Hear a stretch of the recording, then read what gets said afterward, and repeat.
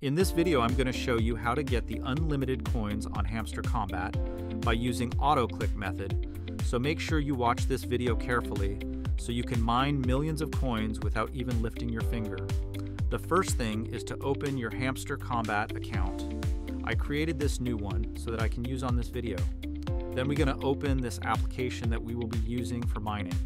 We're going to open this application, then allow all the needed permissions.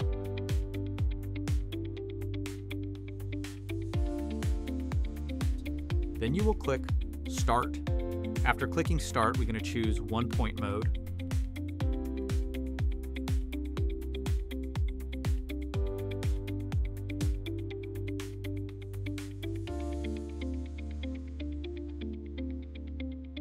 Click Start, then go back to your Hamster Kombat account.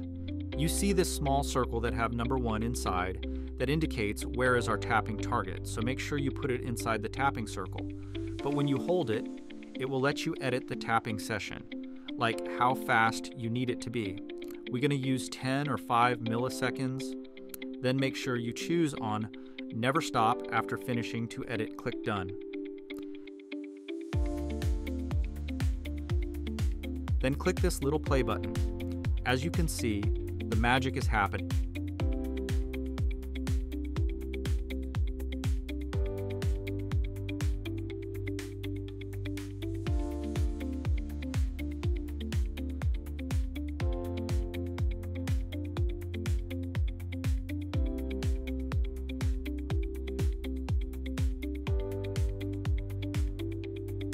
But the only problem is you need these boosts to make sure it continues to go full speed like this.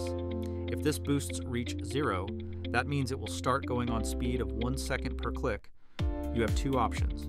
To wait until it reached to the maximum, then enable auto tab, or continue mining on this speed.